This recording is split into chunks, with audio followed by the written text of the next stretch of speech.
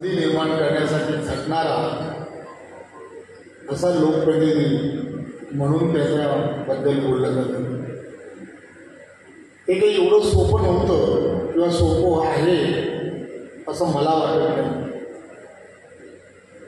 एखादा लोकप्रतिनिधी ज्यावेळेला काम करत असतो मी म्हणताना म्हटलं की दैवतुल्य अशी ही मत व्यक्तिमत्व आज व्यासपीठावरती विनयजी नातूसाहेब पण आहेत. सिंधुदुर्गामध्ये अप्पासाहेब आणि रत्नागिरीमध्ये तात्या नातू. ही दोन व्यक्तिमत्व की ज्यांनी आजही कोणाच्या एखाद्याच्या घरामध्ये गेलो मग तो कोणत्याही पक्षाचा असो त्याच्या घरातील असणारा कोणी तो कोणत्याही पक्षाचं काम करणारा असो एकही व्यक्ती यांच्याबद्दल कुठेही चुकीचं बोलताना दिसत नाही. जे काही बोलतात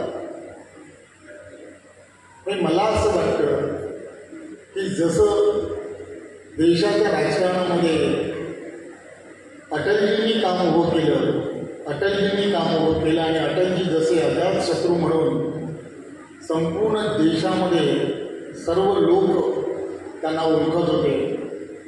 त्याचप्रमाणे या कोकणामध्ये आणि विशेष करून रत्नागिरी आणि सिंधुदुर्गमध्ये रत्नागिरीमध्ये तात्या नातू आणि सिंधुदुर्गामध्ये आप्पासाहेब.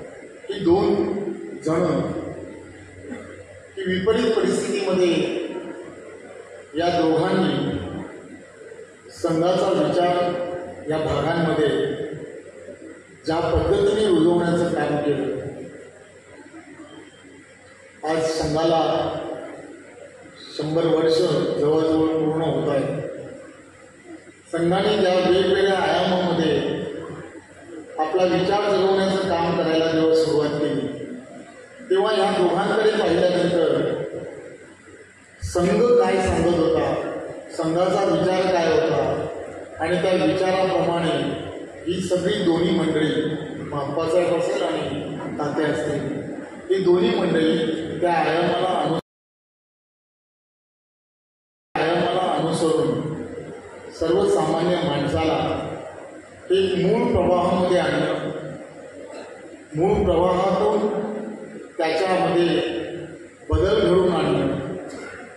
फक्त बदल त्यामध्ये कोणत्या प्रकारचा असला पाहिजे तर तो प्रत्येक जण त्या प्रत्येक कुटुंबातील असणारी कुटुंब व्यवस्था त्या कुटुंब व्यवस्थेला एक आकार देण्याचं काम कुटुंब व्यवस्थेला आकार देण्याचं काम ज्याला म्हणतात हा जो मूळ विचार आहे तो विचार धरून ही सगळी मंडळी चालली आणि म्हणूनच इथे ज्या ज्या संस्था उभ्या राहिल्या त्या संस्थांमध्ये राजकारण विरहित या संस्था राहिल्या. त्यांनी उभं केलेलं प्रत्येक काम आणि प्रत्येक कामाची दिशा ही सर्वांना आदर्श देणारी अशी दिशा आहे. आणि त्यामुळेच तुम्हाला आम्हाला सर्वांना आपल्या पुढच्या पिढीसाठी फार विचार करण्यासारखी गोष्ट आहे. बाबासाहेब आणि अप्पासाहेबांनी केलेलं हे सगळं काम उभं केलेलं काम त्यांचा असलेला विचार त्यांचा असणारा त्याग त्याग आणि समर्पणाच्या कल्पना करणं आजच्या या जगामध्ये या राजकारणामध्ये फार कठीण आहे. परंतु ही सगळी मंडळी किती वेगळ्या पद्धतीने प्रत्येक विषयाला त्या प्रत्येक विषयाला त्या विषयाच्या दिशेने जात असताना त्याला वेगळं स्वरूप कसं निर्माण करत होते हेही समजून घेणं अत्यंत गरजेचं आहे. अप्पासाहेब आणि अप्पासाहेबांचे असणारं जीवन एक अभ्यासाचा विषय आहे. आजच्या या जगामध्ये अशी मंडळी ऋषितुल्य अशी ही मंडळी की जी मंडळी त्यांच्याबरोबर असणारे अनेक जण की ज्यांनी त्यांच्या जीवनामध्ये काय केलं आज जर मला असं वाटतं की आज ज्या पद्धतीने आदरणीय पंतप्रधान नरेंद्र मोदीजींनी अनेक पुरस्कारांच्या माध्यमातून विविध क्षेत्रातील मंडळींना पद्म आणि पद्मसारखे पुरस्काराने सन्मानित केले. जर हा काळ त्यावेळेचा जर असला असता तर नक्कीच ही दोन्ही मंडळी जी आहेत ही पद्म पुरस्काराच्या पुण्यही असणारी मंडळी. त्याचं कारणच एक आहे की हे सर्व जे आहे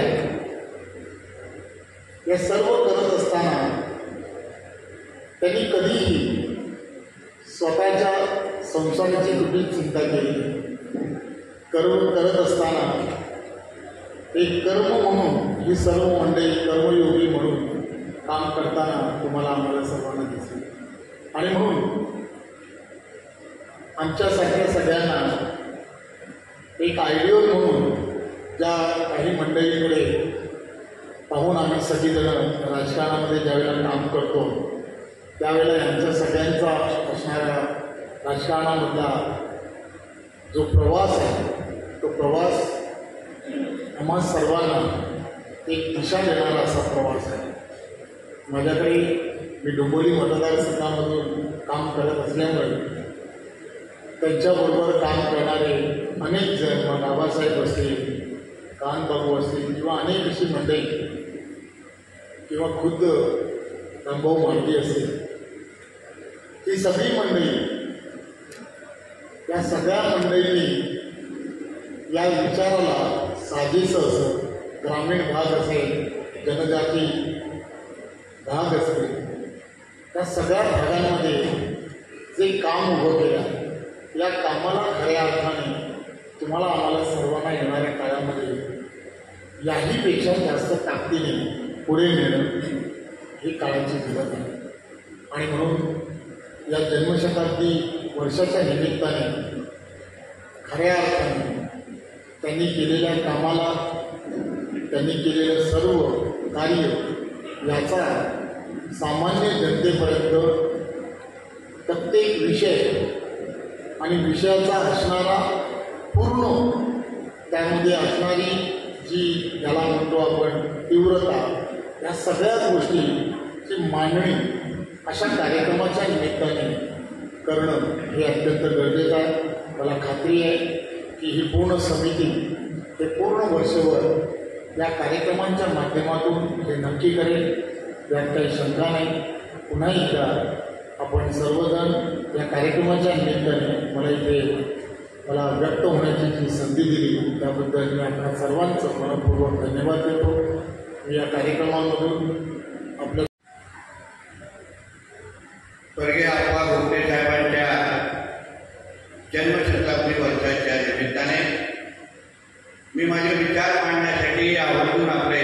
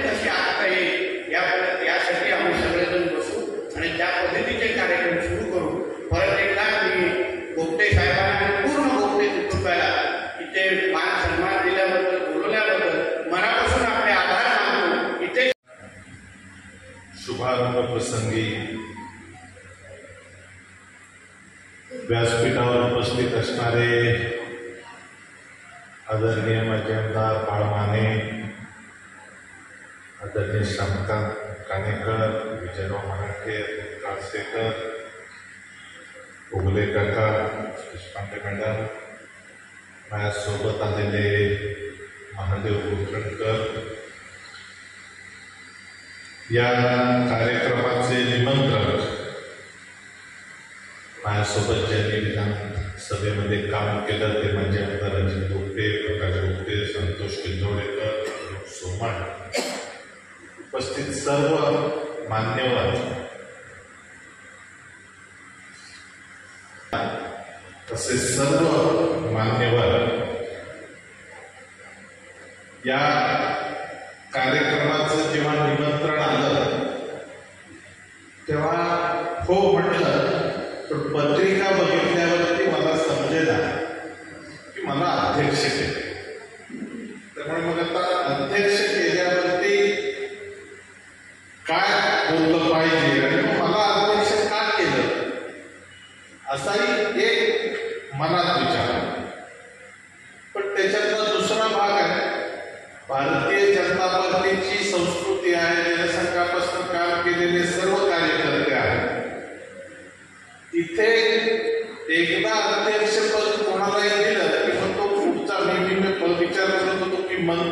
आमदार असे सर्व निमंत्रित आहेत. म्हणजे इथे माननीय पालकमंत्री रवींद्रजी चव्हाण होते या विधानसभेचे आमदार राणेसाहेब होते माजी आमदार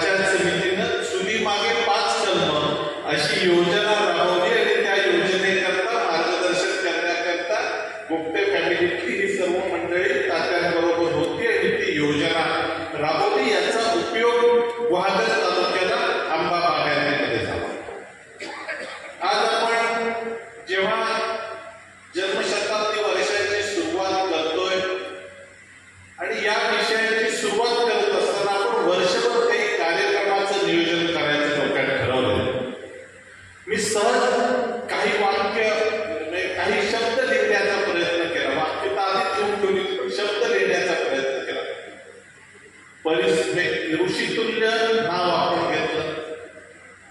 जे आम्ही माझे आमदार आहोत आमदारांना ऋषितुल्य म्हटलं जातं हा वादाचा मुद्दा आता होऊ शकेल.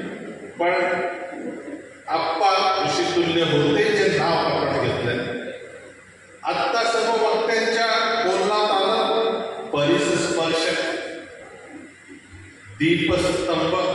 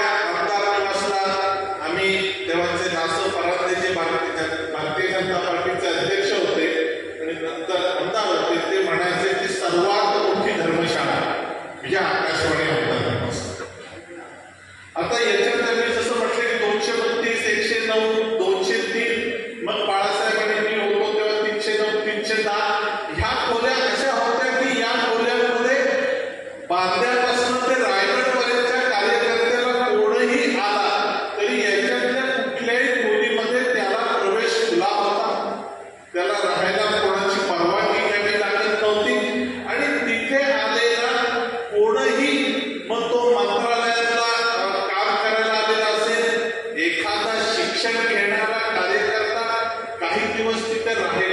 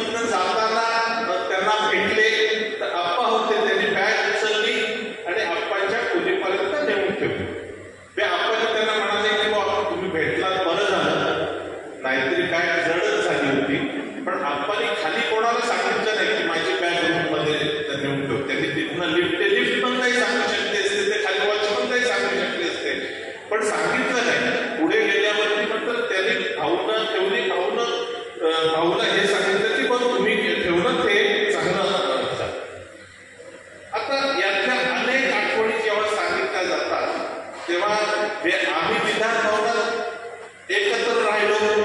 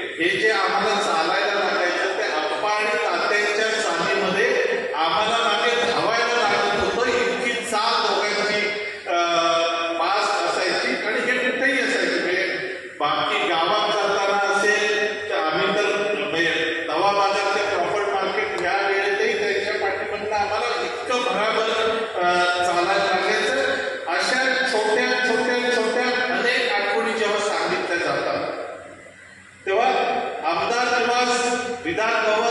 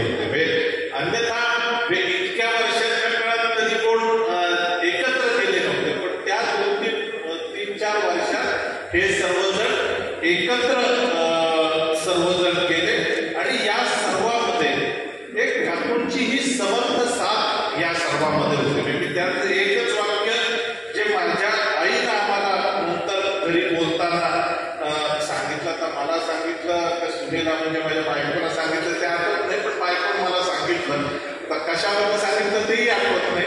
पण तिला सांगितलं तिला आईनं सांगितलं की मी डॉक्टर की शिकले?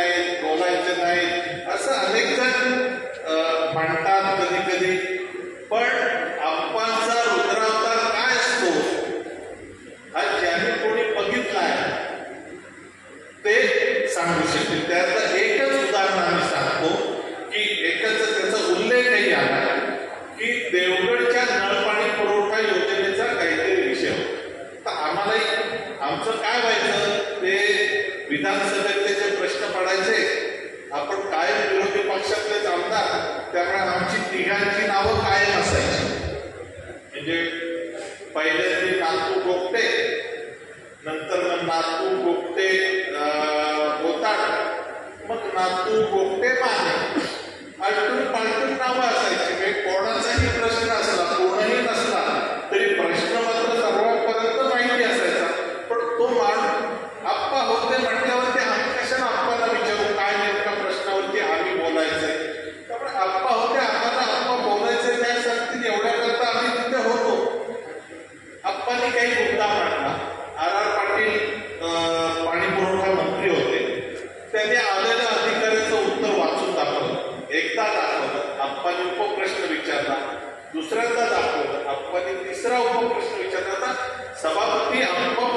विचार करत आपण थांबवू शकत नव्हते अध्यक्ष थांबवू शकत नव्हते.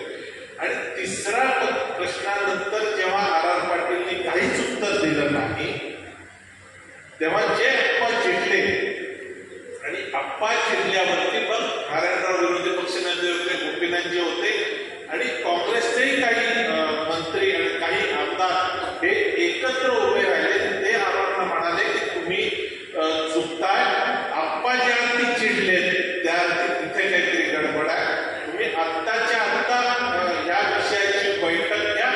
ನಿರ್ಣಯ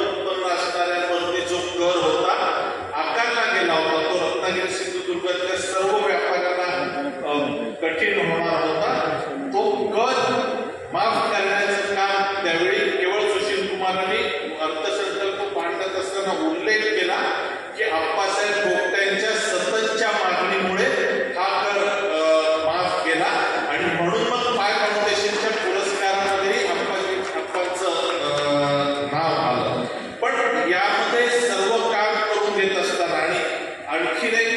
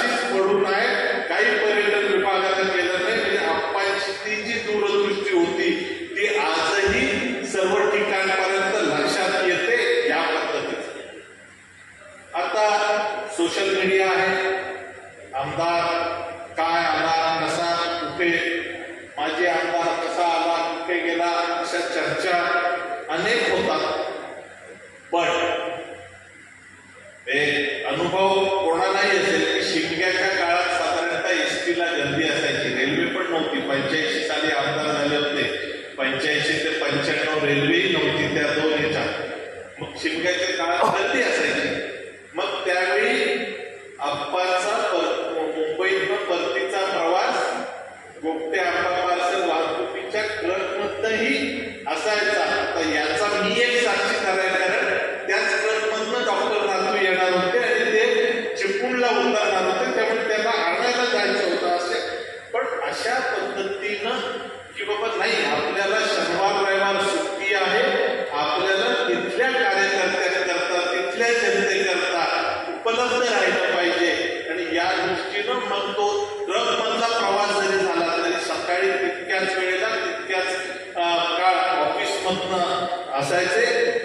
असे असत्य. म्हणजे मी मगाशी म्हटलं की केवळ तुम्ही जर कामाची आकडेवारी करायला तर मगाशी विजयरावांनी मुद्दा मांडला बांधल्या